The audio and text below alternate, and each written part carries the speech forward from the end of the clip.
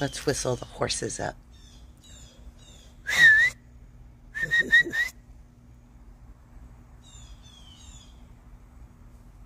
There he is.